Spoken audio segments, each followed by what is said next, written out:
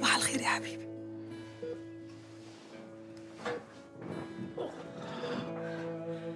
الحمد لله على سلامتك. أنا فين؟ وإيه اللي حصل؟ ما تقلقش أنت في المستشفى. كل الحكاية إني ضغطك عليه شوية. حبيت أجيبك هنا عشان أطمن عليك. يا ريتني كنت مت ولا شفت يوم زي ده. ما تقولش كده يا حبيبي. بعد الشر عليك. شر؟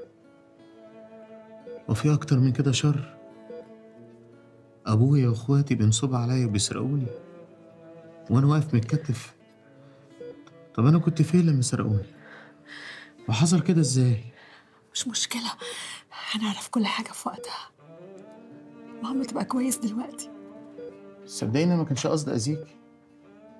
أنا كان كل همي إن أنا أكتب كل حاجة باسمي عشان خاطر احميكي من أي حاجة. أنا عارفة عارفة ومتأكدة إنك عملت كده عشان تحميني مش عشان تأذيني. عارف يا هشام؟ أنت ثروتي الحقيقية وأنت أغلى عندي من كل الدنيا ومن كل حاجة. كل اللي يهمني دلوقتي إنك تقف على رجليك من تاني وتبقى كويس. وأنا متأكدة إنك هترجع لنا حقنا وأكتر كمان. يا سلام. يعني انت فقت وبقيت كويس وقاعد عمال تتودود معاها وأنا دايخة بره على الدكاترة والممرضات مش لاقي حد يطمني بكلمة؟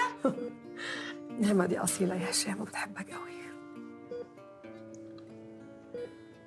الحمد لله على السلامة يا هشام. ما تزعليش مني أنا. ظلمتك وبهدلتك معايا. ما فيهاش حاجة لما تدلع علينا شوية. بسم الله ما شاء الله. الدكتور بقى عنده حق في اللي قالهولي أنت شفته؟ امال إيه طمني عليه وقال لي إنه كويس جدا ممكن يطلع يروح بيته دلوقتي حالا. طب الحمد لله. بيته؟ بيتي اللي هروح عليه. بيتنا يا هشام. إيه الكلام اللي أنت بتقوله ده؟ بيتنا إحنا طبعا. بيتي أنا وأنت. بيتي أنا. بيتنا اللي أنت جايبهولي. أنت نسيت ولا إيه؟